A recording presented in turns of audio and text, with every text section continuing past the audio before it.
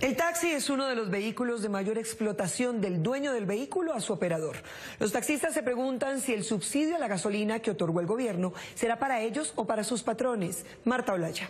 María Fernanda, los expertos prevén cascada de reclamos con el anuncio de subsidio a los taxistas pidiendo el mismo tratamiento para el transporte público y el de carga, aunque están de acuerdo con el subsidio para evitar el efecto inflacionario del aumento en el precio del combustible a su nivel internacional.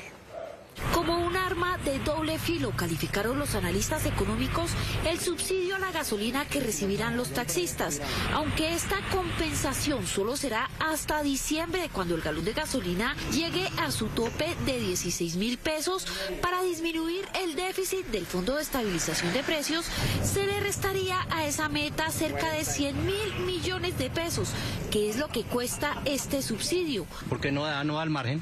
Algunos académicos advierten que esta compensación puede tener dificultades legales ante la falta de financiación. Entonces la pregunta es, ¿de dónde se va a financiar? Cualquier posición que digan que se va a financiar ahorita tendría que pasar por el Congreso para que el Congreso o haga adición presupuestal o desde luego se piense en un traslado presupuestal, pero es muy importante tener en cuenta eso, que puede haber dificultades de tipo legal.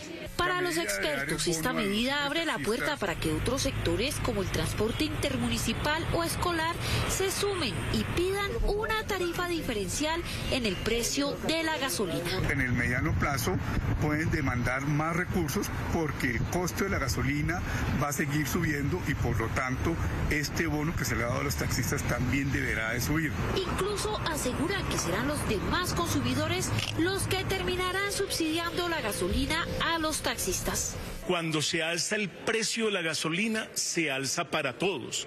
Entonces, si se alzó para todos, desde luego, quienes terminamos subsidiando a todos, eh, a, a, todo el gremio de taxis, somos todos los que pagamos la gasolina. Uno de los voceros del gremio de taxistas también cuestionó este subsidio, que no se sabe si realmente beneficiará a los conductores. ¿Quién va a ser beneficiado con este subsidio? Porque no podemos nosotros seguir hoy. ¿Quién lo va a recibir? ¿El conductor? o el propietario. Según el gobierno, esta compensación la van a empezar a recibir los taxistas a finales de este mes de septiembre y solo aplicará para quienes estén registrados ante el RUT.